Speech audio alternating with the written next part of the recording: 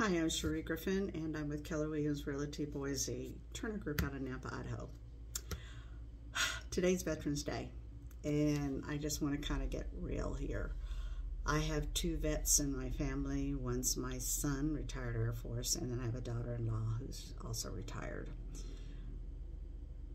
I love them both, and both of them have the post-traumatic syndrome my uh, son was on a tarmac walking out to his aircraft and it was hit with a missile. Uh, he was probably 100 feet from the plane and got full brunt of it. Did receive shrapnel from it, lodged in certain parts of his body, one right here in the main artery and one in his leg as well.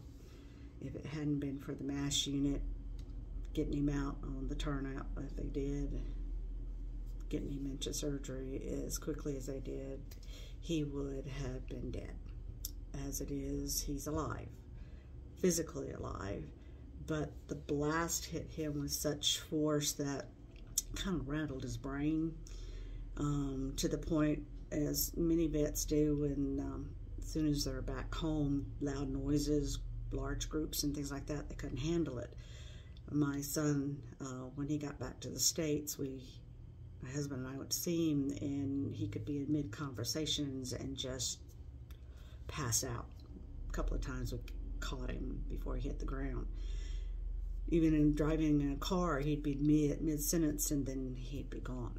And um, he went to the VA and they started loading him up with lots and lots of medicines and made him just personally my feeling as a dope addict to the point that he cloistered himself in a basement with his games, and that's how he lived for almost a year, kind of a thing. And it was rough.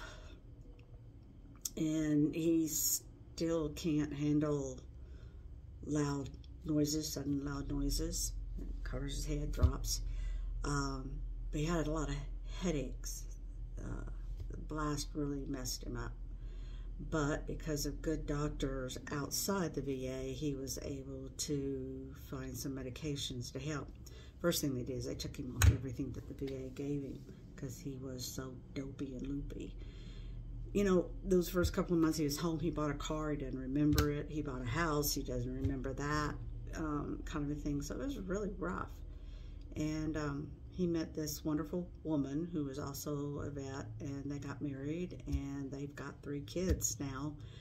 But he still can't handle large groups, and he still really can't handle a lot of loud noises and all. Neither can she, um, kind of thing. But between the two of them, they make one really strong personality, and they make it.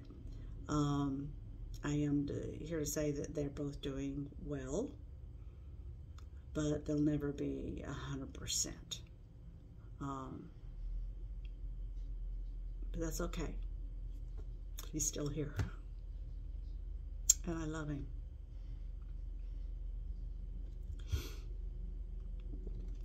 I'm very proud of him and her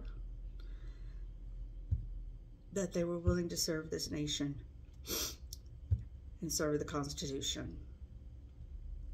So, what I want to say is, um, if you know a vet, tell them thank you. Give them a hug. Tell them how much you appreciate them. That's really all I've got to say. Veteran Day is close to my heart. I'm Sheri Griffin, and yes, I'm a realtor, and I work out of Nampa. But I have a family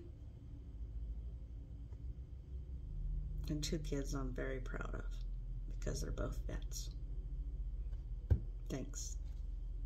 Talk to you soon. Bye.